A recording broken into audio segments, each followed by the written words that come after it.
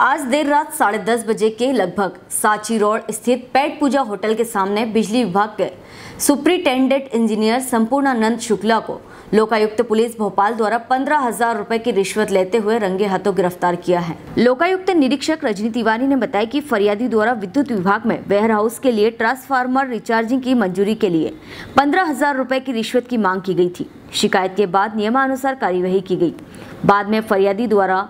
superintendent engineer को पंद्रह हजार रुपए दिए गए तभी लोकायुक्त ने उन्हें गिरफ्तार कर लिया उन पर कार्यवाही की जा रही है मिली जानकारी के अनुसार सुप्रीटेंडेंट इंजीनियर संपूर्णानंद शुक्ला जो सात दिन पहले ही विदिशा स्थानांतरित होकर पदस्थ हुए थे फिलहाल वे पेट पूजा होटल में ही रुके हुए थे गंज बासोदा से मुकेश चतुर्वेदी की रिपोर्ट देखिए ऐसा है कि हम्म, हमारे माननीय सीएम साहब इतने ईमानदार हैं और हफ्ते में दो बार विदिशा आते हैं इसके बावजूद भी उस ज़िले में अधिकारी कुछ कुछ ऐसे आ जाते हैं कि भ्रष्टाचार से नीचे बात नहीं करते मेरा एक वेयर हाउस बन रहा है जिसमें लाइट लगना थी और लाइट मैंने कानूनन सारी औपचारिकताएं पूरी करके मैंने कानूनन लाइट लगवाई और पास हुई वो लेकिन उसकी चार्जिंग परमिशन विदिशा से होती है कोई भी ट्रांसफार्मर में बिजली दौड़ाने के लिए उसकी परमिशन की ज़रूरत पड़ती है उसके लिए मैं पिछले सात रोज़ से चक्कर लगा रहा था लेकिन मुझे सिर्फ आश्वासन मिल रहे थे और फिर मैं ये नए सी साहब आए मैंने इनसे निवेदन किया तो इन्होंने मुझे फिर दूसरे दिन अपने ऑफिस में बुलाया अकेले में बोले कि भाई देखो मैं राजगढ़ में तीस हज़ार रुपये लेता था इस काम के तो मुझे पंद्रह हज़ार रुपये दे देना तो मैंने कहा साहब मेरा पूरा एक नंबर का काम है मैं पैसे क्यों दूँ तो कह लें फिर जाइए आप ये मुझसे थोड़े अच्छे भी नहीं बोले इनकी भाषा थोड़ी अभद्र टाइप की थी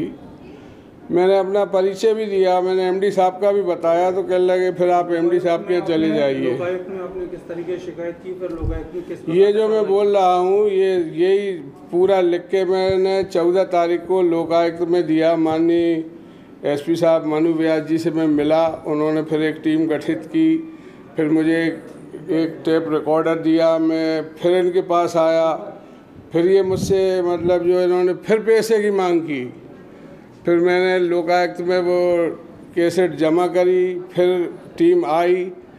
फिर टीम आई तो इन्होंने मुझे बताया कि मैं सिरोन से लौट रहा हूँ और होटल के बाहर मिलूँगा आप मुझे वहाँ मिल जाइए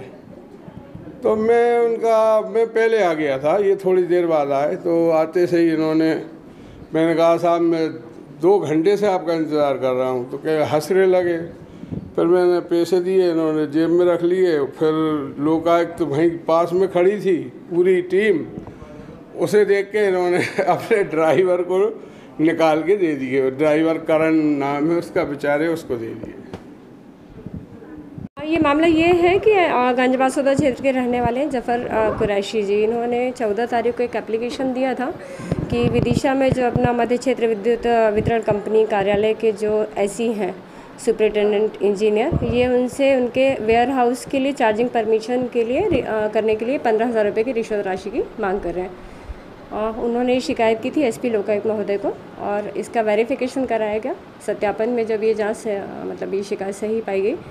तो फिर आज दिनांक को इनका जो कार्रवाई की गई है इनके ऊपर पंद्रह हज़ार रुपये की रिश्वत राशि इन्होंने पेट पेट पूजा होटल के सामने ये जफर राशि जी से ली थी जैसे ही रिश्वत राशि ली इनको रंगे हाथों गिरफ्तार किया गया कार्रवाई भी चल रही है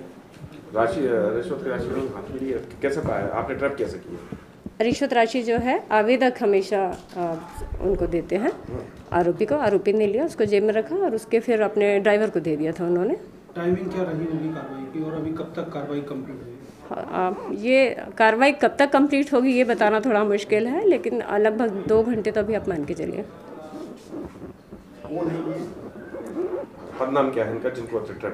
ये सुपरिटेंडेंट इंजीनियर है अधीक्षण यंत्री विदिशा में आपके मध्य क्षेत्र विद्युत वितरण कंपनी लिमिटेड के विदिशा अहमदपुर ऑफिस में नाम क्या श्री श्री संपूर्णानंद शुक्ला जी